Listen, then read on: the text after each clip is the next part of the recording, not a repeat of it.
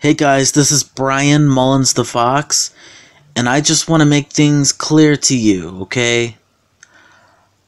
I deleted those two videos about Odin because I just cannot handle any more negativity. So I just wanted to be positive and I deleted those videos. Please, please understand me. I'm just wanting to be a popular, okay? Though some furries do stupid stuff sometimes,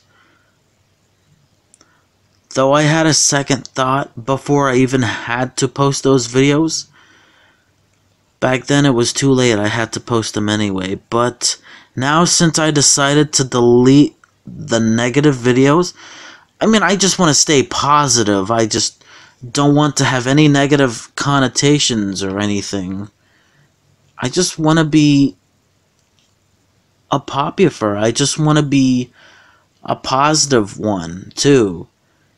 I don't want to be furry trash where people can just talk trash about me, make myself look like trash, and all this other negative shit. Okay? I just want to say, guys, I'm sorry for that rant.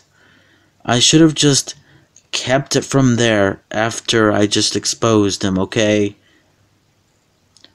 But I was just a dumbass back then and posting the damn videos anyway. I'm sorry. But that's it for the video. I'm Bryan Mullins the Fox, signing off with positivity.